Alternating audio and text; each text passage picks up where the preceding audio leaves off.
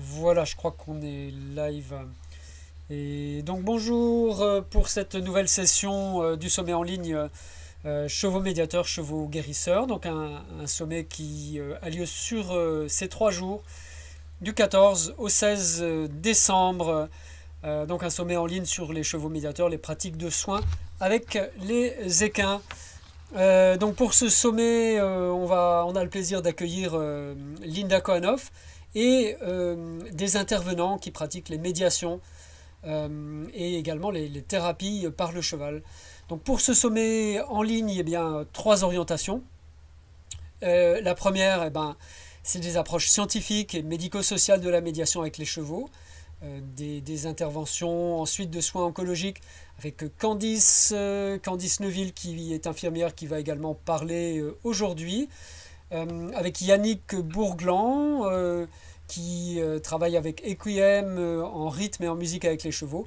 Et donc aujourd'hui avec Catherine Mercier que je vais présenter un peu plus en détail tout à l'heure.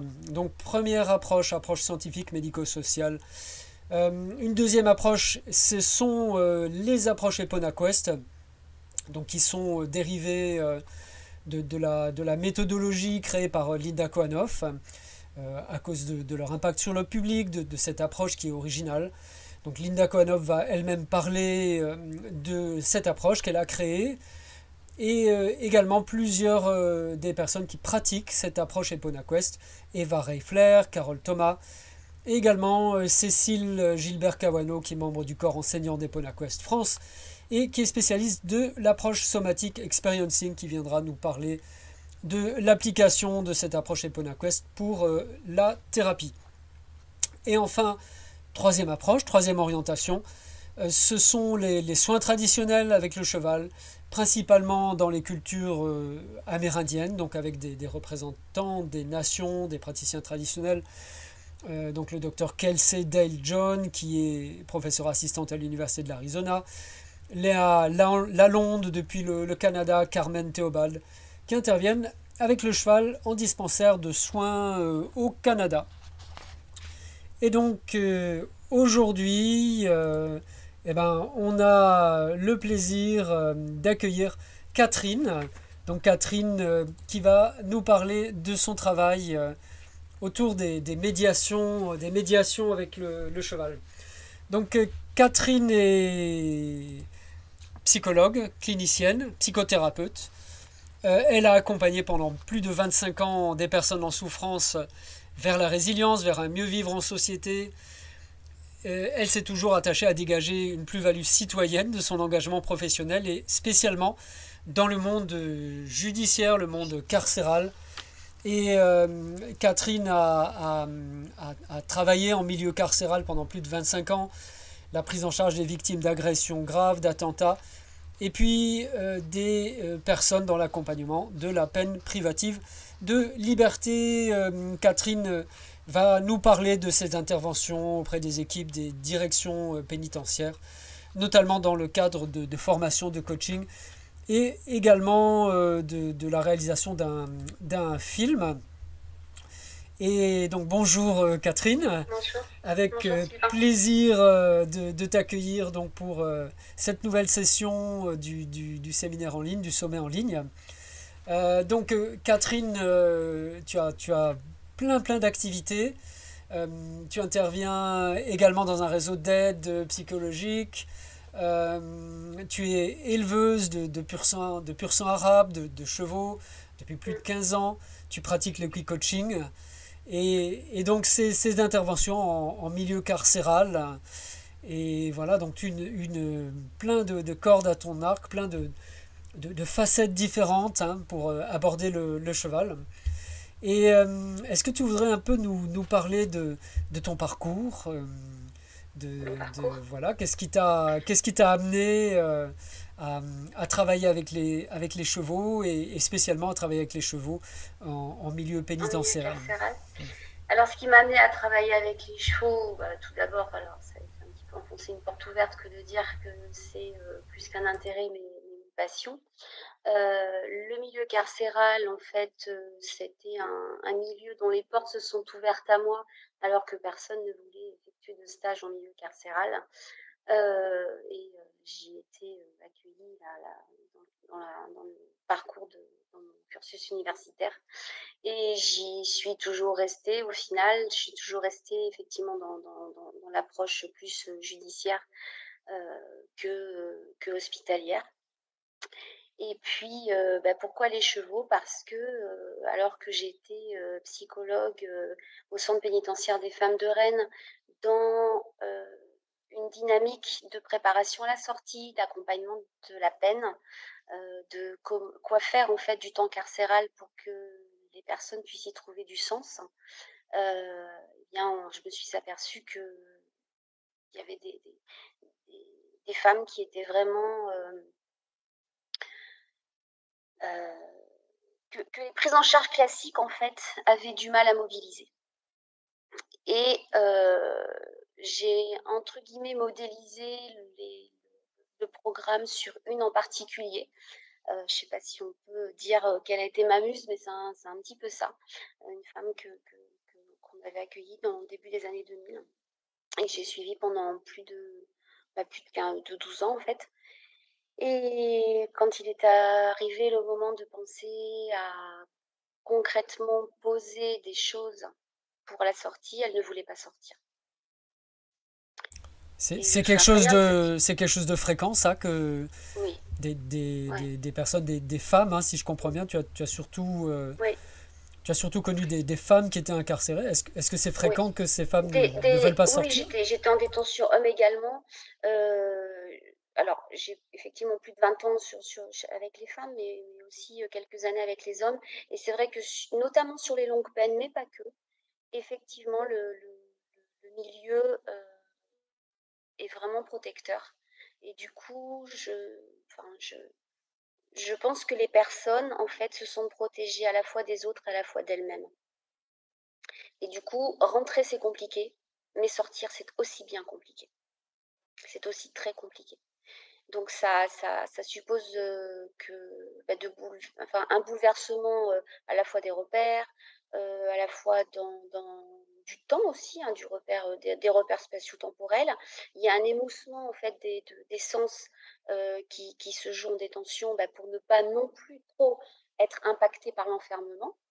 donc, bah, soit je, soit je, je, je me fonds un petit peu dans les murs et au risque de, de, ne rien faire de mon temps de détention ou alors de ne faire que euh, des choses extrêmement ritualisées. Euh, ou alors, pour, pour, certaines personnes, effectivement, c'est dans, dans, les premiers temps, c'est de la révolte. Et puis à un moment donné, bah, ça, ça, finit par tomber. Et à un moment donné de la peine, a fortiori rentrer dans les détails de l'application des peines, mais a fortiori lorsque euh, on, ne peut pas du tout euh, avoir de, perspective de peine dans un temps euh, à peu près délimité, eh bien, on finit par, abdiquer, si je puis dire, et puis du coup à, rentrer dans un espèce de ronron de la détention. Et là, c'est comment redonner du mouvement, comment redonner de l'impulsion et, euh, et puis bah, les chevaux, c'est un peu tout naturellement en fait. Hein. ce sont des êtres de mouvement.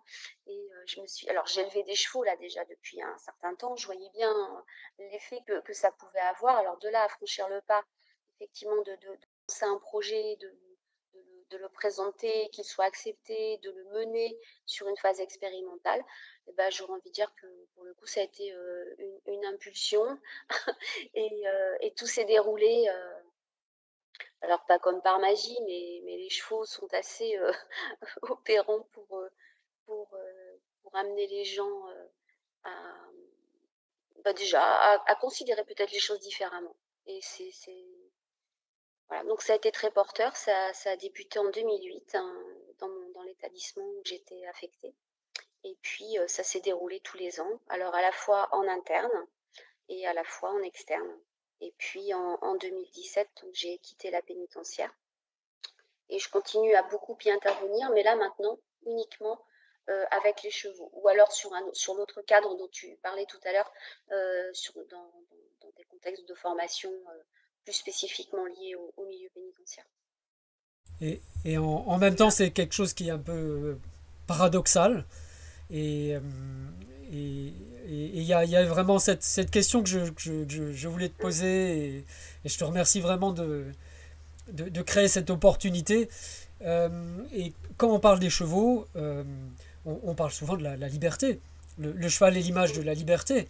La, première, quand, quand, on pose la question à quelqu'un, qu'est-ce qui vous attire chez un cheval La personne va répondre, c'est un être libre, il, il est libre, c'est la liberté. Alors, est-ce qu'il n'y a pas un, paradoxe de, d'amener cette liberté dans, dans un, environnement où, par définition, bah, la liberté n'existe pas, puisqu'on parle de, bah, de privation de liberté, justement Elle n'existe pas, ou alors elle est en pointillé, puisque c'est une privation de, euh, de, de, mouvement, mais non pas de toutes les libertés. Là, on peut continuer à penser en prison.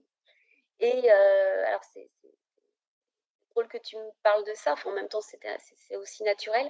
Mais euh, j'ai eu un, avec quelqu'un d'ailleurs que tu connais bien, avec euh, qui je suis intervenue sur une, une, prison, un, une personne détenue qui, alors qu'il y en avait un qui disait, mais oui, effectivement, le cheval, symbole de liberté.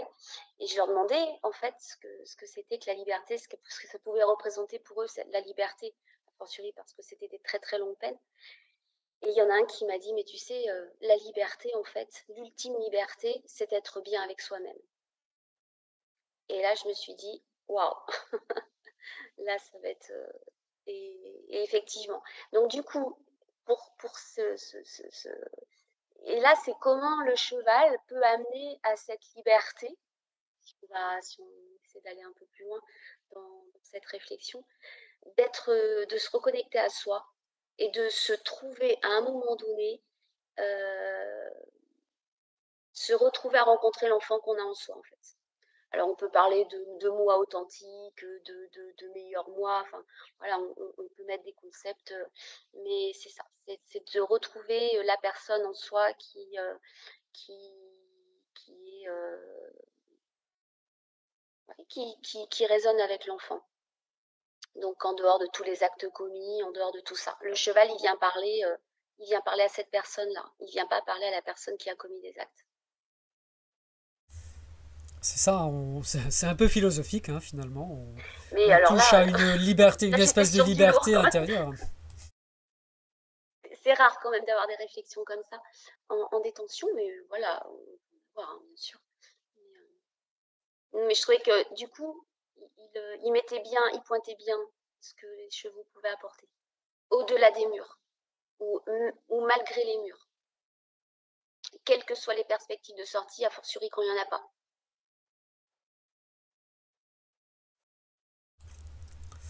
Oui, et euh, évidemment, moi, moi je, dois, je, dois, je dois dire que bah, ça, ça amène beaucoup d'émotions. Hein, euh, voilà, c'est quand même quelque chose qui, représente euh,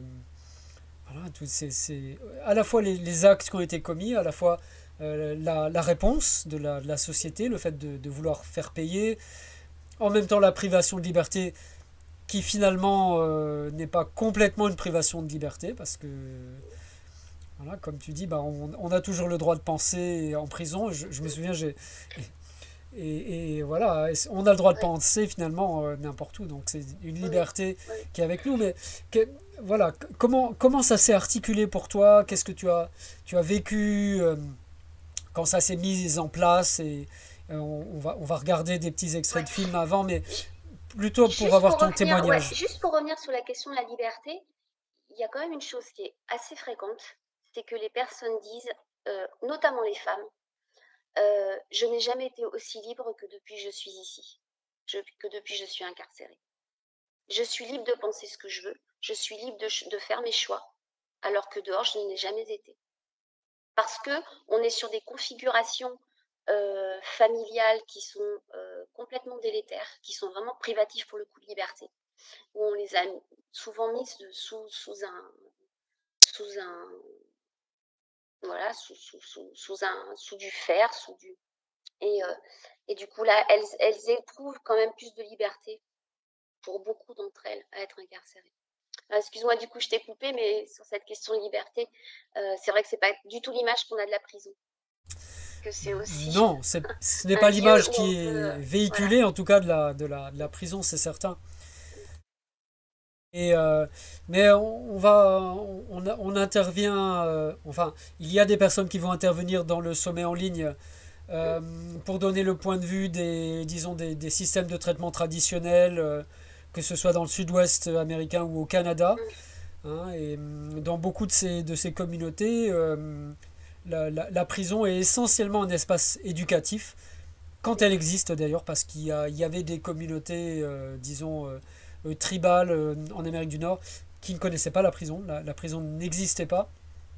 Et je dois dire que ça a toujours été pour moi une forme de, de, réflexion, parce qu'on voit bien les conséquences de ces communautés qui ne connaissaient pas l'emprisonnement, enfin ils ne connaissaient pas le principe de la prison, par rapport bah, évidemment au système euh, euh, euh, européen et américain. voilà, et, ça, ça, amène beaucoup de, de réflexion. Et, voilà, quel, courage et, aussi vraiment une, volonté d'innovation d'introduire les chevaux, ce facteur de liberté, dans l'univers carcéral, dans l'univers pénitentiaire. et, et je, voulais te poser cette question de, euh, bah déjà, comment c'est possible, comment ça peut se faire en pratique, euh, le mieux possible. Est-ce qu'il y, a des, est qu'il y a des risques Est-ce qu'il y a des, des, choses à ne pas faire? Est-ce que... Et, et, je te pose cette question à toi parce que je crois que tu es une des, des, pionnières, en tout cas, de ça. Il y a quelques personnes qui amènent les chevaux en milieu carcéral, mais euh, voilà. Voilà, quelques-uns.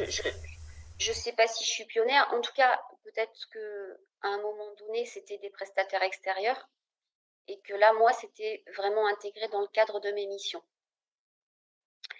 Donc là, il a, fallu le vendre, si je puis dire, le projet euh, aux instances euh, décisionnaires.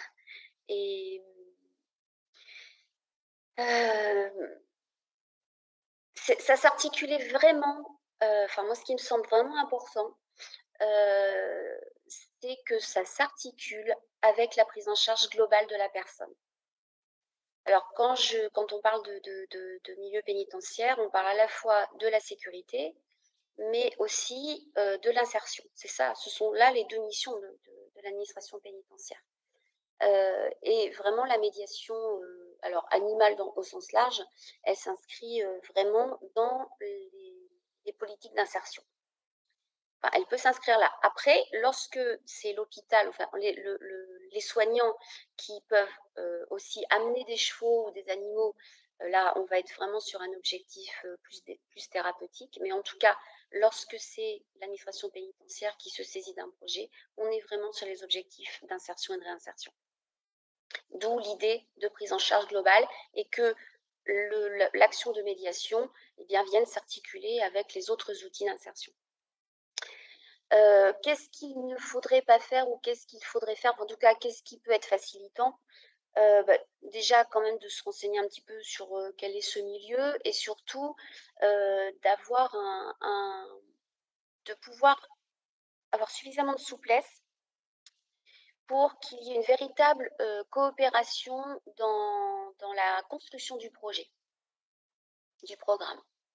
C'est pas forcément arriver clé en main avec quelque chose. Euh, si je, pense que, bah, comme tout à chacun, je pense qu'on on, aime bien aussi participer à quelque chose, s'approprier quelque chose, et pour que ce soit pérenne, pour que ça fonctionne, bah, on a besoin aussi de mettre un petit peu sa patte, et aussi euh, que l'autre entende les enjeux qui, peut, y avoir, et notamment les enjeux sécuritaires, puisqu'on n'est quand même pas dans un milieu... Euh, voilà, l'enjeu sécuritaire est quand même de, est quand même de taille. Et après, c'est de se dire que de toute façon, les personnes qui vont être amenées à bénéficier de ces ateliers, euh, ce sont des personnes qui vont soit être volontaires, soit à qui on va proposer. Donc des personnes que les, professionnels pénitentiaires connaissent à minima et se disent, bah tiens, monsieur ou madame Antel, euh, ça pourrait être intéressant d'eux. En général, c'est comme ça que ça se passe. Donc, en tant que prestataire, en fait, on voit arriver des, on voit arriver les personnes. On ne sait pas ce qu'elles ont fait, qui elles sont. En général, euh, c'est le, prénom, on n'a pas forcément les noms de famille, et tant mieux. Et, euh, puis, euh, bah, c'est ne pas tenter de savoir ce pourquoi la personne est incarcérée. Elle peut le dire, elle peut raconter aussi ce qu'elle a envie de raconter, mais ne pas rentrer dans, le détail et ne pas, pas vouloir à, tout prix savoir. Parce que à la fois c'est pas protecteur, enfin c'est là on, parle de l'éthique, hein. euh, c'est à la fois la protéger elle-même et, se protéger soi aussi. Hein. Donc voilà, peut-être de, rester effectivement sur quelque chose de, la réserve et de, n'être là que pour cette action-là. Euh, ça n'empêche pas qu'on on, puisse être amené à, pouvoir échanger avec les professionnels qui, qui, sont peut-être qui souhaiteraient justement par rapport à l'articulation euh, qui me semble vraiment indispensable avec euh, les outils d'insertion, bah, avoir un petit peu des billes aussi. Et le fait que certains professionnels participent, enfin moi j'ai eu vraiment à cœur à ce que les personnels pénitentiaires participent, parce que ça permettait aussi une déconstruction des représentations respectives que les uns pouvaient porter sur les autres, hein. à la fois en tant que professionnel vis-à-vis d'autres professionnels, mais à la fois en tant que détenu vis-à-vis de, personnel et personnel vis-à-vis de détenus. Euh, petite illustration toute bête. Euh, j'ai une collègue surveillante, donc euh, quand, quand, elle arrive au, centre équestre là, lorsqu'on est sur, on était sur un atelier avec en permission de sortie, donc elle arrive, bien évidemment, elle n'était pas en uniforme. il y a une détenue qui la regarde, qui lui dit mais c'est bizarre, il me semble vous avoir déjà vu quelque part, mais j'arrive pas à savoir où. Et ma collègue éclate de rire. Elle lui dit bah si si, c'est sûr que vous m'avez vu quelque part, mais imaginez-moi en bleu marine et puis ça va vous revenir. Donc voilà, c'est ça aussi. Et, ou un autre surveillant que les détenus surnommés euh, Robocop parce que en détention il était un petit peu, un petit peu dans de la prestance virile, on va dire ça comme ça, et que les détenus ont découvert sous un autre jour euh, lors, de, lors de lors de l'atelier, et inversement, des, surveillants qui ont pu dire à des étudiants, en fait, je ne pensais pas du tout comme ça. Je ne pensais pas que... Euh, euh, ben, voilà. Et, un, jeune détenu un jour qui dit à, une surveillante, qui lui dit, mais en fait, vous n'êtes pas, êtes pas surveillante, vous êtes nos accompagnateurs de peine. Ah, bah oui. Et là, grande émotion de tout le monde. et c'est vrai, il avait raison mais parce que du coup, ça, permet cette souplesse. En fait, on n'est que dans le lien. Et le lien professionnel euh, qui peut être vraiment mis à rude épreuve très souvent. Euh, là, bah, du coup, il vient à s'assouplir, il, se, il prend une consistance différente. Et du coup, quand euh, en détention, et eh ben, comme des liens se sont créés là autres, et eh ben, ils perdurent un peu même si on retrouve le costume, même si on retrouve la posture de détenu, ce lien-là, il perdure et il perdure à travers un regard, à travers un sourire. Voilà, on était ensemble.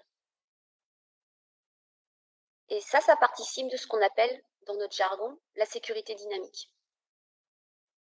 C'est quoi la sécurité dynamique? Contrairement à la sécurité statique, qui elle, c'est euh, tout ce qui est euh, mirador, euh, fouille, comment, ronde et tout ça. La sécurité dynamique, c'est celle qui intéresse la qualité relationnelle. Mieux je suis avec une mmh. personne, moins je vais être en capacité, enfin en capacité, moi je vais l'agresser parce que bah, il y aura de la, il y aura, il y aura, il y aura de la relation, il y aura quelque chose de, tangible. Je sais qui est l'autre en face, hein. et, euh, et aussi plus je pourrai aller vers elle si je me sens pas bien. Donc là, on est du coup sur l'axe prévention suicide, par exemple, ou l'axe agression entre détenus, par exemple. Oui, tout, tout, à fait. Et, euh, et, de, de, de, ce que je comprends, il y a, y a euh, enfin, une, certaine bonne volonté de la part de l'administration pénitentiaire. Je, voilà, je, c'est pas vrai, c'est pas vraiment, euh, c'est pas vraiment l'image, disons, qui, qui, qui, qui, est véhiculée. Je, je ne sais pas. Hein, moi, c'est pas vraiment un milieu que je connais. Je connais assez bien le milieu médical, les hôpitaux, etc., etc. Je connais pas trop l'administration pénitentiaire, mais ça, ça n'est quand même pas l'image qui est véhiculée, euh, disons, dans le grand public, qui est une, une, une volonté de conciliation ou euh, bon, de sécurité dynamique. Moi, j'appellerais ça de la, confiance, tout simplement. Hein, voilà. Ah oui, ça, ça, a clairement à voir avec ça. Mais la relation de confiance, elle se construit. Elle se décrète pas. Donc, euh, effectivement. C'est ça, c'est ça. C'est ce qui fait l'essence du métier de surveillant. Hein. Ils ne sont pas des porte-clés. Alors après, chacun se saisit aussi à sa façon hein, des choses. On peut avoir de tout. On, peut avoir de tout dans la dans, dans, ce qui va se passer pendant les sessions ou dans le la, la, les réponses les réponses à les, oui oui oui euh, oui dans, dans, dans, oui dans les réponses par rapport à effectivement euh, est-ce que je réponds euh, de façon un petit peu automatique parce que parce que je suis fatiguée, parce que j'ai été agressée, parce que euh, voilà, c'est un métier qui, qui est c'est un, un, milieu qui peut être rude hein, et les personnels de surveillance euh, bah, voilà malheureusement peuvent être aussi pas mal victimes ou être témoins de choses qui sont bah, qui sont de l'ordre du traumatisme. Donc bah, il faut faire aussi avec, hein, retourner au travail le lendemain voilà. Donc c'est pas c'est pas un endroit banal quand même. Euh, alors, quand on en revient à ce que, parce que quand euh, on intervient en prison, ce qu'il faut faire, ce qu'il faut pas faire, bah, ne pas avoir un regard jugeant. Et ça, de fait, les, chevaux, par essence, nous, y aident fortement. Et que, du coup, ce regard non jugeant, enfin plutôt la, représentation que les gens aussi se font, euh, que, le cheval est non jugeant, eh ben, ça vient à se diffuser sur les humains. Et du coup, c'est là où les choses peuvent s'exprimer. Je peux me montrer en fait euh, face au surveillant, je peux me montrer face à l'intervenant, parce que je suis là avec le cheval. C'est là où le cheval fait médiation aussi. C'est parce que je m'adresse au cheval, mais que du coup, bah, les autres en sont témoins et que bah, les autres peuvent rentrer dans la ronde et je vais, vais faire, euh, bah, je, voilà, vais pas, je vais pas changer de casquette euh, en fonction de, de qui, me, qui me parle en fait. Et euh, Catherine, tu as, tu as un DESS de psychologie clinique euh, et un diplôme universitaire de, de, criminologie hein, pour l'expertise mentale. mais ça, ça c'est des notions, comment dire, c'est des notions qui sont qu'on apprend, qu'on apprend aujourd'hui à l'université ou, ou c'est des choses qui sont en train de se développer? Et, et je pose cette question parce que bah évidemment moi je, suis un peu. Euh, je, suis un, activiste pour que la médiation par le cheval se développe. Et, et, donc je me pose la question, est-ce que c'est enseigné? Est-ce que c'est -ce c'est connu? Ou est-ce que c'est simplement des, des, expériences de terrain, des, des, des, choses qui ont été constatées euh, sur le terrain? Comment, comment ça se passe? De, de, mon temps, c'était pas enseigné. De mon temps, il n'y avait pas de master en criminaux. Maintenant, il y en a, notamment à Rennes. Euh, où là, effectivement, euh, bah, toutes ces notions-là de sécurité dynamique, tout ça, enfin, tout, ce dont je viens de parler, et bien d'autres encore, euh, sont, enseignées, sont abordées. Et également, moi, je, suis intervenue pas mal de fois sur la question de la médiation animale en milieu carcéral, du coup, et des, effets bénéfiques et des effets aussi limitants que ça peut avoir. Voilà. Donc à Rennes, effectivement, il y a un... Alors c'est pas un enseignement à proprement parler, c'est euh, une présentation hein, de, ce qui peut se faire, de comment, ça se passe, et puis les, effets, euh, euh, les attendus psychocriminaux que, que, l'on peut avoir. Oui, ça se... Ça se... Et ça se... Comment dire ça se référent, alors je ne sais pas si c'est très français ce que je dis, mais ça se référencie de plus en plus. Euh, il y a bah, notamment là dans, le documentaire, moi je travaille très longtemps, je travaille avec lui, euh, mais il fait une thèse, une thèse là, sur la médiation animale en, milieu carcéral, il est en train de la boucler. Donc euh, voilà, il y a, il y a, y a des, références là qui commencent à vraiment donner de l'ampleur et vraiment donner une vision euh, de ce que ça peut être et de ce que ça peut apporter, à la fois pour, euh, pour les personnes détenues et, et, les professionnels qui y travaillent et l'institution en elle-même, eu égard à ses missions. Donc c'est intéressant. Oui, c'est sûr que c'est intéressant. C'est parti vraiment du terrain. Et puis bah, on, on, a contribué aussi à ce que ça remonte et que, que, que, que justement on déconstruise aussi les représentations sur c'est pas on fait pas des tours de poney on fait pas des, caresses aux chiens quoi. Il se passe autre chose. Et, et les choses sont structurées aussi quand même en amont à minima. Au moins à minima. Après ce qui se passe dans les ateliers bah heureusement que on se laisse porter par ce qui va advenir, qu'on n'est pas tout le temps en train, en tout cas moi, la façon dont j'interviens, je suis pas tout le temps en train de, blinder, en train de me dire ah bah non j'avais prévu ci, j'avais prévu ça. C'est aussi dans, le moment présent que on se saisit des choses et puis que voilà. C'est ça, c'est structuré. Euh, c'est structuré, c'est-à-dire qu'il y, y a, un déroulé de séance, il y a des, des, une mise en place, comment Parce qu'il y a, il y a aussi cette expérience transformatrice et, et, et là, quand on travaille avec les chevaux, ben, on sait bien que c'est souvent ce qui se passe dans le moment présent qui est le plus important. Comment, comment ça se passe dans, dans ce milieu carcéral où ça me paraît un peu difficile quand même euh, dans un milieu dans un milieu pénitentiaire aussi à cause de la, de la sécurité euh, dynamique ou statique je ne sais pas d'être complètement dans le moment présent. Comment ça se passe, ce qui se passe, ce qui se passe bah, c'est, bon, on se présente à la porte hein. alors moi quand j'arrive avec le vent bah, soit je fais le tour par le chemin de ronde soit je me gare on décharge les chevaux et puis sur le parking et puis on rentre par la grande porte donc, bah, il y, a les, y a les contrôles d'identité, logique, les contrôles de tout le matériel, logique, voilà. Et, puis après, bah, on, est installé. Alors, moi, je, c'est vrai que on, a l'impression que dans, alors, dans beaucoup de prisons, effectivement, il n'y a pas forcément d'espace en RB ou d'espace, voilà. Mais les, prisons, en tout cas, là où moi j'interviens, il y a quand même des, des, des, grands espaces en RB. Donc j'ai cette chance-là, sauf dans un établissement, mais où dans cet établissement-là, on intervient, donc on amène le foin, aussi. Mais on intervient deux heures. On fait une pause de deux heures où là, les chevaux sont à l'herbe. Voilà, on, a la chance d'avoir euh, d'avoir de l'herbe à proximité. Et puis, on revient deux heures. Et les chevaux, ils sont à 3 km de chez eux. Là, ça va. Mais effectivement, je ne me verrai pas du tout. Alors déjà, intervenir avec un seul cheval, je je, je, le ferai pas. Euh, parce que je me suis enfin c'est pas je, viens alors déjà parce qu'il y a a entre 4 et 6 personnes donc avec un seul cheval déjà deux parfois c'est voilà donc euh, et puis je, je, je, vois que souvent les alors moi j'y vais avec mes avec mes avec mes juments mais elles ont souvent elles vont elles vont se elles vont elles sont ensemble de temps en temps elles vont ensemble alors parfois elles peuvent complètement être à l'opposé mais elles ont besoin de temps en temps de se retrouver donc et en plus, c'est très bien de pouvoir aussi amener les personnes détenues à percevoir le besoin de l'autre.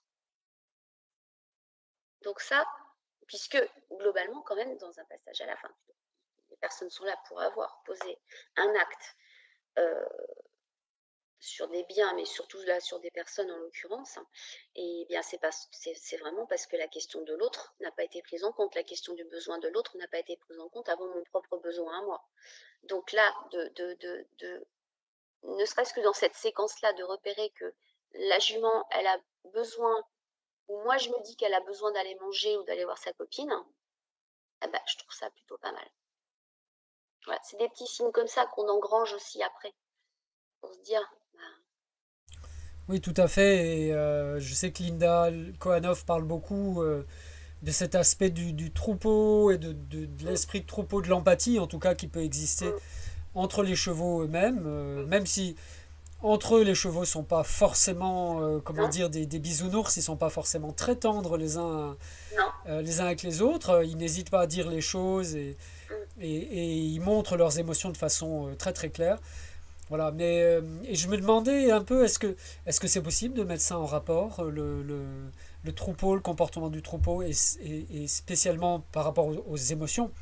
Parce qu'évidemment, j'imagine que quand, quand on, ne, on ne peut pas prendre euh, l'autre en, en, compte et, qu'on, et aussi quand on est submergé par ses propres émotions, donc est-ce qu'il y a un accès, est-ce qu'il y a un accès à ça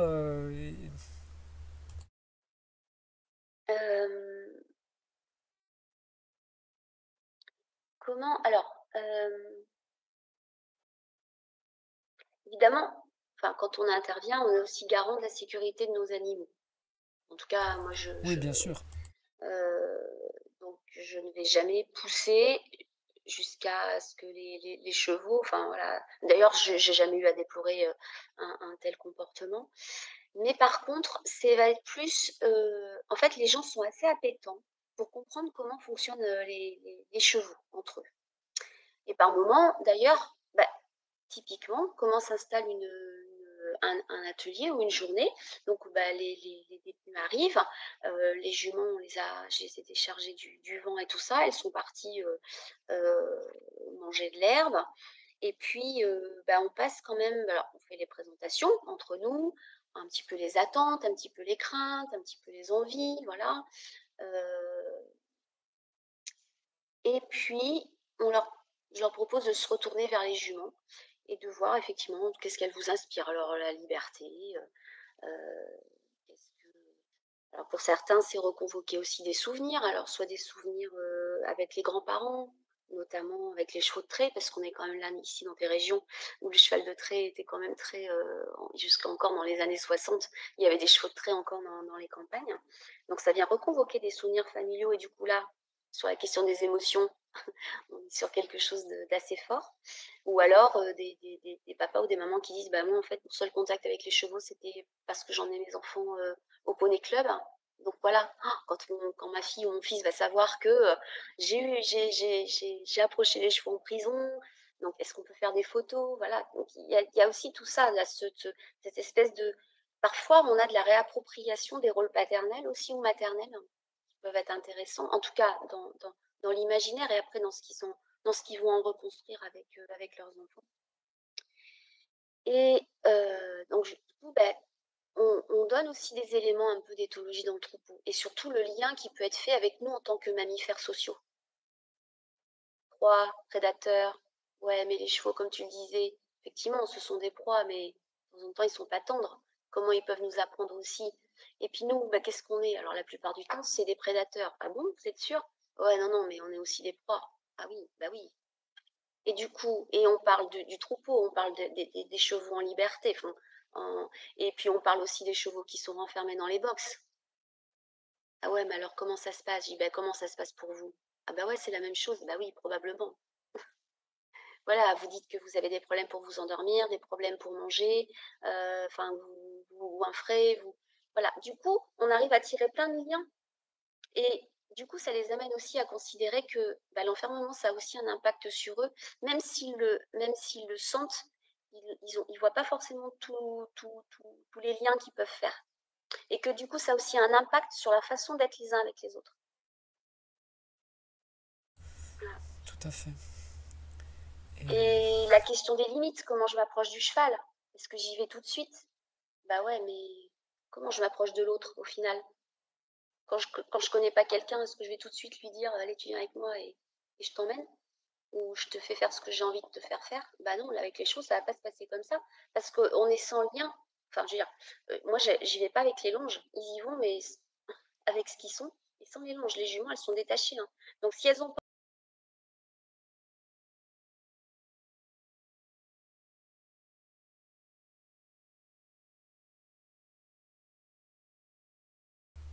Voilà, c'est parti sur la, sur la question de comment je rentre en relation avec l'autre, euh, les, chevaux, en fait, ils n'ont pas de licol, ils ont pas, voilà, on n'a pas de longe ni rien. Et c'est comment je vais à la rencontre des chevaux, comment je m'adapte, euh, comment euh, est-ce que j'y vais en meute. en général, au début, ils y vont en meute. Après, ils s'aperçoivent que bah non, ça les fait fuir. Alors, je leur dis bah, comment vous pourriez vous organiser autrement? qu'est-ce qui vous anime surtout? Qu'est-ce que bah, on a envie de les, approcher, de les caresser. Je dis, ah, mais est-ce que c'est. Il y a peut-être des petits préambules avant, il y a peut-être des petites. Euh, voilà, de, commencer à, dire, mais c'est pas quand je veux, comme je veux, moi. Comment je peux m'adapter à l'autre? Oui, c'est un peu comme ça que les juments euh, éduquent d'ailleurs les, les, ah, poulains, hein, en fait. C'est ça, Et donc, à un moment donné, bah, il y, en a, y en a un qui arrive mieux que d'autres à les approcher. Je l'invite à, exprimer ce qui l'a animé, comment il s'y est pris, mais pas forcément en termes de comportement, mais plus en termes d'intention. Enfin, un ou elle, une. En termes d'intention, euh, mmh. avec, avec, quelle était ton intention quand tu l'as approché, euh, ce genre de choses. Et Et puis aussi, bah, en fait, je voulais m'approcher de, de l'une et c'est l'autre qui est venue. Bah, du coup, euh, ah ouais, bah, je pensais pas. Et qu'est-ce que ça fait aussi? C'est pas d'être choisi, de pas.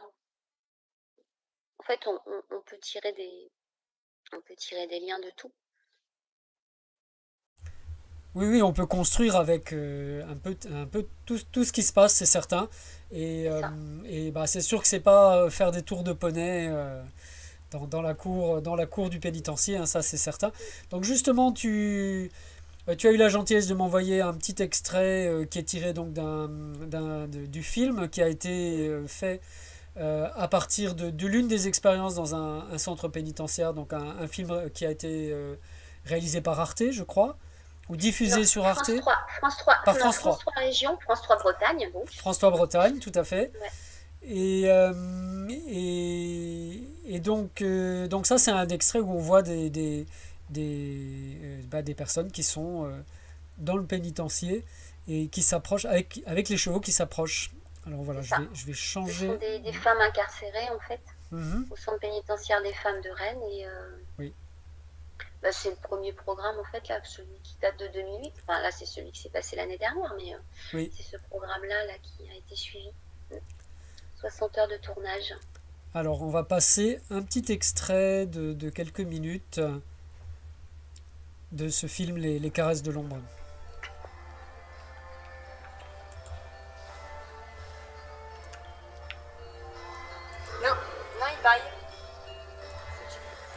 Que tu ressens là quand il te fait ça, euh, Quand je fais ça, ça me fait. Quand il te fait ça. Du bien Ouais. Franchement, ça me fait, ouais.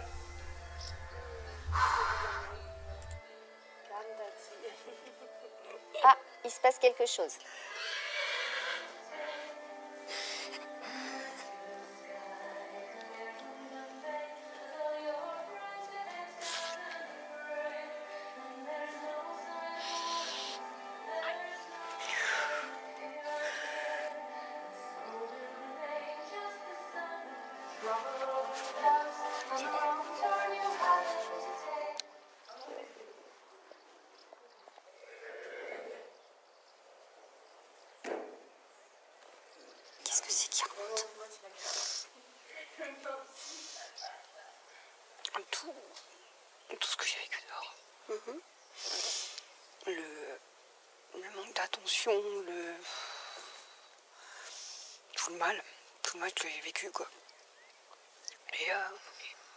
Cheval et l'ourson, c'est ça qui est. Euh, au contraire, il montre toute l'attention que j'aurais aimé avoir, quoi. Et, euh, c'est pour, ça que c'est.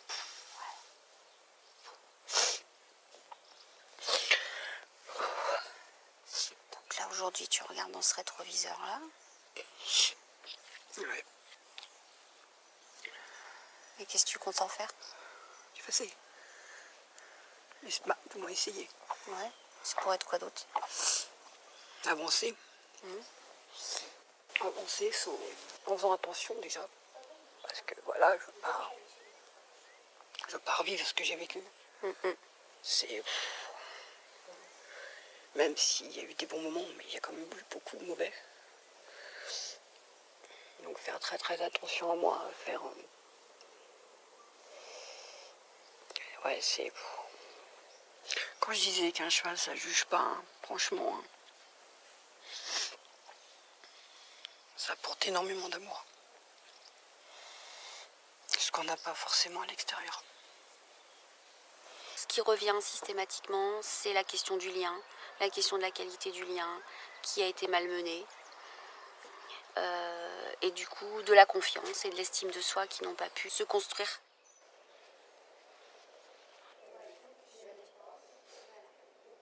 Dans le manège, la séance se termine en douceur, après de fortes émotions.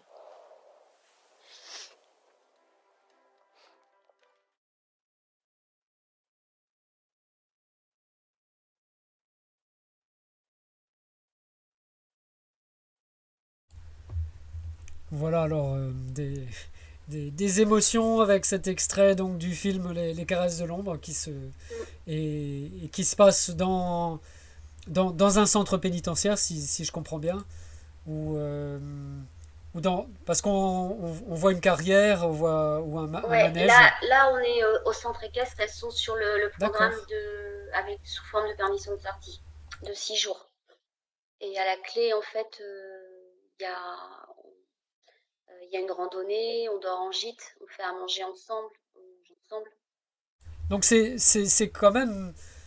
C'est pas juste une intervention qui est dans le, dans le centre pénitentiaire. Il y a, il y a, il y a les permissions de sortie, il y a, il y a une, presque toute une, une, aventure. Moi, j'ai envie de dire une aventure un peu transformatrice. Enfin, en tout cas, c'est le réapprentissage de, de, de, de l'extérieur, j'imagine. Hein, et tu parlais de cette difficulté euh, finalement de, de, ressortir, de ressortir, de se confronter à nouveau avec euh, bah, la, la, la, vie euh, qui peut avoir pas mal le changé. Ouais, les, les, odeurs, les, les bruits, les... Ouais, ouais, bien sûr.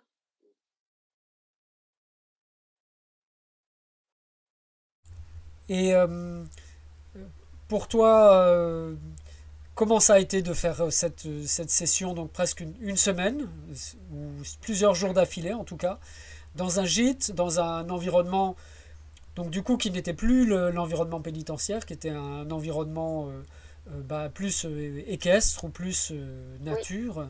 Et mm. qu'est-ce qui s'est passé? Est-ce qu'il y a eu des, des expériences? Est-ce qu'il y a eu des transformations? Et voilà, je suis sûr que, que c'est le cas parce que quand on voit ces images, et vraiment il y a, il y a une intensité des émotions incroyable quand on voit ça. On a envie de savoir ce qu'elle devient, Rosine. Hein. Alors oui, ce sont des programmes en fait, la façon dont on les a dont je les ai structurés au départ, c'était deux jours, une semaine, deux une semaine, enfin deux jours. On fait euh, donc elles sortent le matin, elles rentrent le soir, elles ressortent le lendemain matin, elles rentrent elles rentrent le lendemain soir. On laisse poser pendant une semaine, on repart sur deux jours, même format. On pose pendant une semaine. Le temps tout ça un peu ça se décante et tout, enfin voilà, qu'il y ait des choses qui se et après, les deux derniers jours, c'est sous forme de rando et c'est là où il y a la nuit en gîte. Et pour beaucoup d'entre elles, c'est la première permission de sortie depuis des années. Donc la première nuit dehors. Dehors, loin des lumières de la ville, donc proche d'une forêt avec euh, bah, les étoiles, la lune, les chouettes, les engoulevents, les bruits en fait. Les bruits des corrigans, dans la forêt de Brocéliande.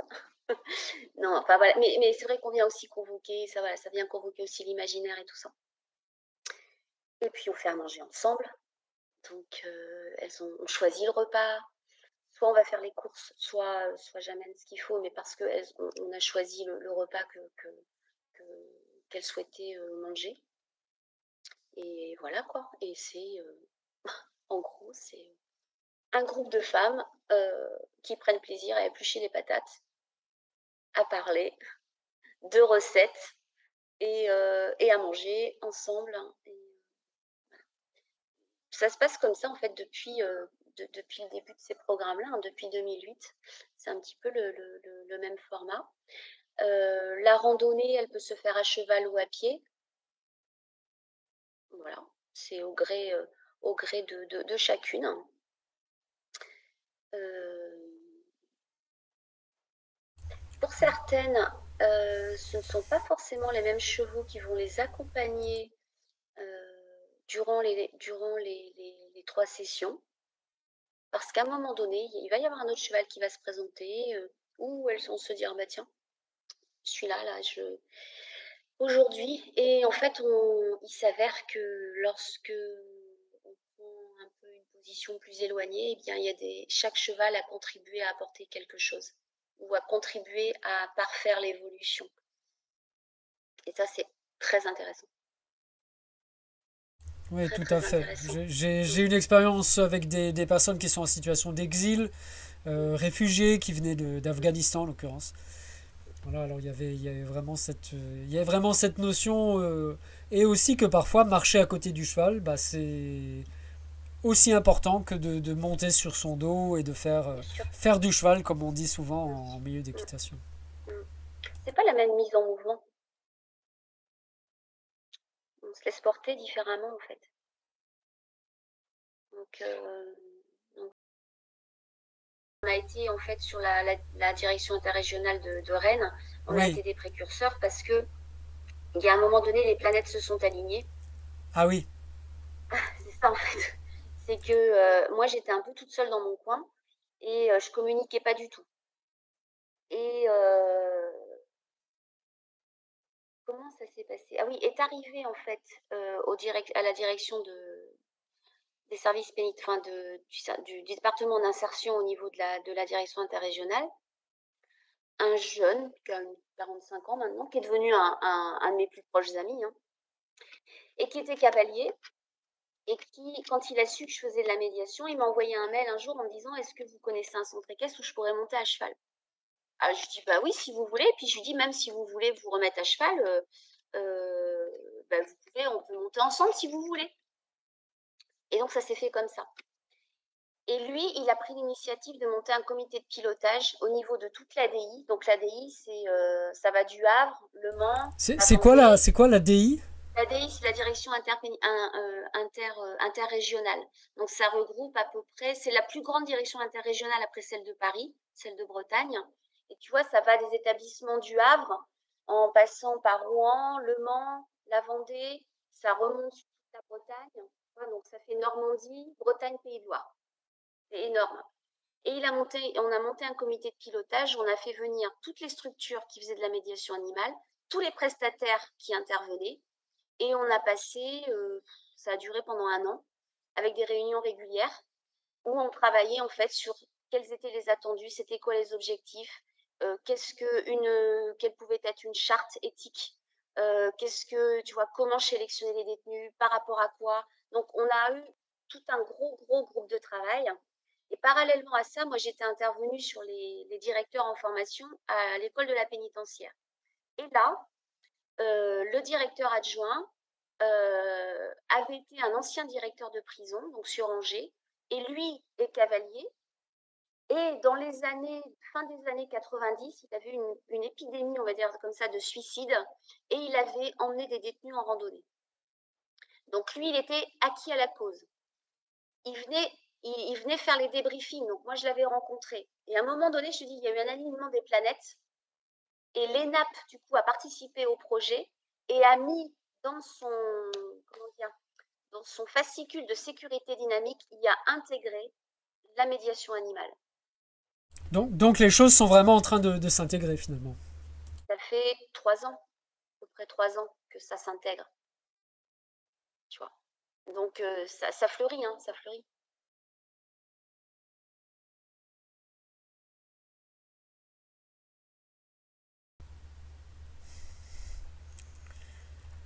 Tu, parlais de transformation. Euh, alors, on, peut avoir, être témoin de transformation absolument incroyable. Euh, des transformations peuvent advenir quelques temps après, voire des fois, bah, voilà, autant. Les gens ont pris.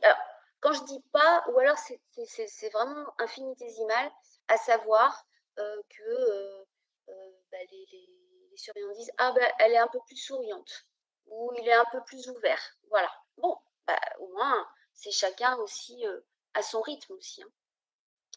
Euh, et puis d'autres, bah, comme Roselyne, qui, elle, ça a été euh, le grand chaos, mais qui a permis l'évolution. Hein. c'est très jungien. pas de chaos, enfin, pas d'évolution sans chaos. Et, elle, c'est ça, tout à fait ça a été, enfin, la transformation a été extraordinaire. Tant et si bien que je, l'ai croisé en détention l'autre jour. sur le moment, je me dis, mais c'est pas possible, c'est pas elle. Bah, si, c'était elle. Et puis après, je, l'ai revue euh, quelques, la semaine dernière, il y a 15 jours. Et elle me dit, j'ai bien vu hein, que tu m'avais pas reconnue tout à fait. Et, euh, là, elle est. Euh, voilà. Et, et, quand je lui pose la question, qu'est-ce qui a fait ça?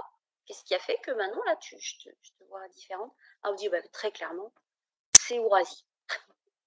Ourasi, donc ça a été un, des, un, des, chevaux. Elle me dit, là, vraiment, il m'a confronté à, ce, dont, à ce dont j'avais besoin. Donc, euh, Mais du coup, ça a été progressif. Il n'y a pas eu Ourasi. C'est ça. Et, euh, et, là, voilà. Une belle, belle évolution. Et alors, on l'a pour elle, mais on l'a aussi pour d'autres, hein, fort heureusement. Hein. Aussi bien des hommes que chez des hommes aussi, hein, il y a eu des belles choses. Est-ce que est-ce que c'est différent euh, dans ton expérience, le travail avec des, avec des hommes ou avec des femmes, puisque bah, évidemment, euh, ce sont des milieux qui, sont, euh, qui ne sont pas mixtes, bien évidemment. comment, comment ça est-ce que c'est la, la est-ce que c'est le même abord? Est-ce qu'il y a des différences? Est-ce que il y a, y, a, y a, ce film hein, euh, qui, est, qui, est, paru il y, a, il y a trois ans, je crois, et euh, qui s'appelle euh, Nevada en français. Nevada? Ah oui, on n'est pas du tout sur les mêmes, sur les mêmes choses. Mmh. Là, là il n'y a que, que des hommes. Sur des programmes voilà, de, de entre guillemets, éducatifs pour les chevaux. On voit bien quand même l'impact que ça, que ça peut avoir. Euh, alors, il, peut y avoir effectivement des, des, similitudes. Et d'ailleurs, Nevada peut parfois servir à des débriefings, en fait, là, sur, sur, les, sur les programmes qu'on a. Euh, et notamment, bah, les, similitudes, c'est effectivement euh, euh bah, le cheval, il nous oblige à être différents et à, et à retrouver quelque chose de, de, de, bon en soi, de doux en soi. Euh, après, sur les, programmes de médiation, comme ce ne sont pas les mêmes objectifs, bah, bien évidemment qu'on ne va pas forcément du coup voir les mêmes choses. Euh, et entre, les femmes et les hommes, peut-être que les femmes, dans un premier temps, vont peut-être plus se laisser aller.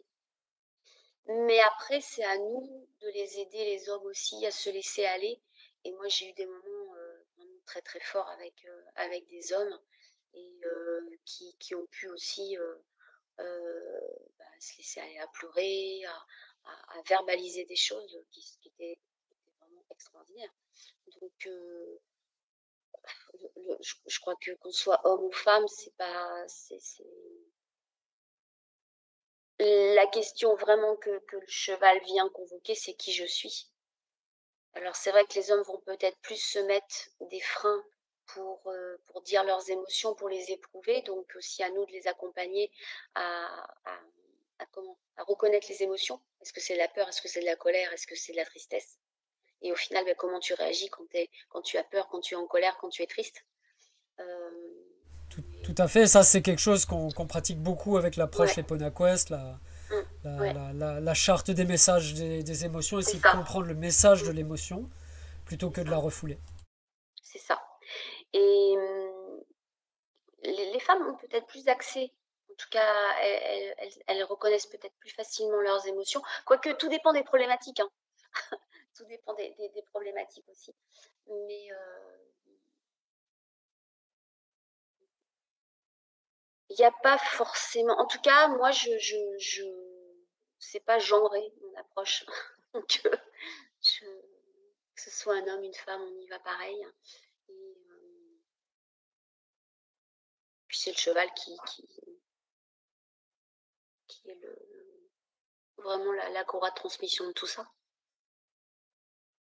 C'est certain, le, cheval a vraiment des, potentialités. Euh, et, moi, je, n'hésite pas à dire vraiment thérapeutique. Euh, et, d'où euh, peut-être ma, dernière question. On va doucement s'acheminer vers la, la clôture de l'interview. Mais une, question que j'avais, est-ce que, est que tu penses que ça peut se, disons, se, généraliser ou devenir quelque chose qui est, qui, du domaine, qui est plus du domaine de, de l'exception, mais qui est du domaine de de l'habituel? Et, si oui, euh, quel chemin ça pourrait prendre? Comment ça pourrait, euh, comment ça pourrait, disons, devenir quelque chose qui est euh, habituel, médiation animale dans le, les, les, milieu pénitentiaire et, et, comment, comment ça pourrait se passer ça, ça, commence à devenir quasi habituel. Alors, j'ai pas les chiffres en tête de, du nombre d'actions de médiation animale en milieu carcéral, mais je crois que, enfin,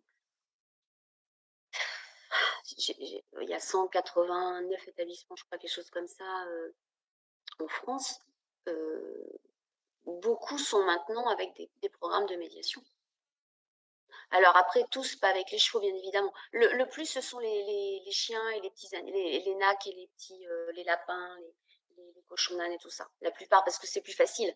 à organiser. Bah oui, évidemment, pour un chien, raisons évidentes, bien sûr, tout à fait. Voilà, mais énormément d'établissements maintenant sont friands et à la fois donc milieu fermé, établissement, mais aussi sur ce qu'on appelle le milieu ouvert, où là on retrouve le plus de personnes placées sous main de justice. Hein, c'est sur le milieu ouvert, hein, la, la, la, grosse partie des personnes. Donc on a là, ça commence aussi à, se, à se diversifier les approches milieu ouvert. Donc, oui. Et peut-être juste ce, que, ce que nous avons remarqué donc avec, avec Damien, là, le directeur du centre équestre, qu'on aperçoit à un moment donné, c'est que, enfin, lui, ce qu'il a remarqué sur ses chevaux, c'est que les, quand, ils font de la médiation, en fait, ils sont. Ils, bah, ils les découvrent aussi différemment, mais, alors plus maintenant, parce que du coup, ils les voient depuis plusieurs années, mais les chevaux semblent vraiment apprécier. Il y a une ah appétence aussi euh, de, Tout à fait. Il y a des chevaux qui sont demandeurs, hein, c'est certain. Ouais, c'est ça. Donc ça, je trouve ça, je trouve ça bien.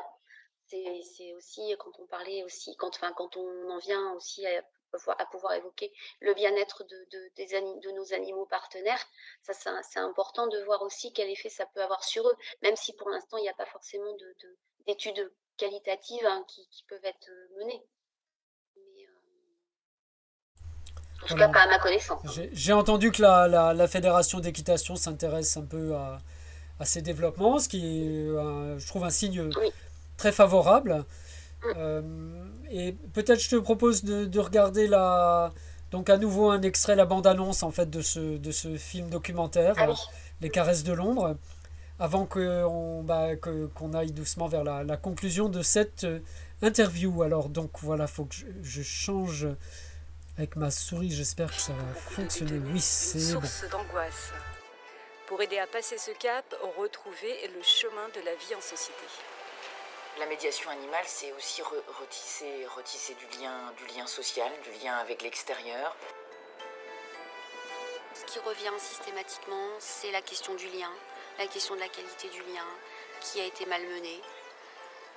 Euh, et du coup de la confiance et de l'estime de soi qui n'ont pas pu se construire. Ah, il se passe quelque chose. Les caresses de l'ombre, un film inédit, jeudi à 23h45 sur France 3.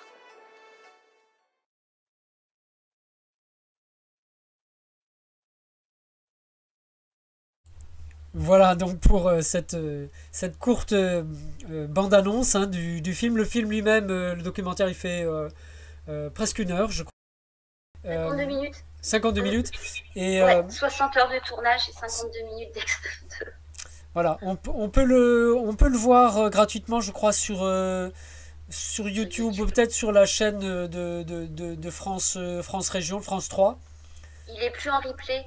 Il est resté 15 jours en replay. Ils l'ont mis après sur YouTube. Hein. Et Vimeo, je crois aussi. Ok, bah formidable. Et bah peut-être euh, je, mettrai le lien Vimeo ou le, si c'est possible le lien YouTube euh, pour les personnes qui voudraient vraiment, enfin qui voudraient regarder ce, magnifique documentaire et puis qui donne aussi de, l'espoir, qui donne de, l'espoir hein, sur euh, l'évolution de la des activités de médiation avec les, chevaux. Et, et, donc Catherine, à nouveau encore un grand grand merci d'avoir été avec nous pendant cette, euh, cette heure d'interview. Euh, voilà, beaucoup, beaucoup d'émotions et puis en même temps des, des aspects euh, très, très pratiques. Hein, très, et, et, bon, moi qui ne connaissais pas bien ce, ce milieu, bah, je vois que grâce à toi, grâce aux chevaux, peut-être aussi grâce à l'administration pénitentiaire, ah, oui. c'est en train de devenir possible. Hein. Oui, bien sûr et au personnel qui participe, hein, parce que là vous avez vu des surveillantes, mais du coup on ne savait pas qui, qui c'était. Elles n'étaient pas en uniforme. Hein. C'est ça, c'est ça. En fait, on voit dans le documentaire des, euh, des, des, personnes qui semblent être des accompagnantes et, et, en fait qui sont des, des, surveillantes, qui sont des surveillantes de, de, de, de, prison. Et ça, c'est quand même. Euh, c'est quelque chose d'extraordinaire de, de, voir ça. Moi, moi, je dois dire, ça me donne de l'enthousiasme de l'optimisme aussi pour le, le, futur.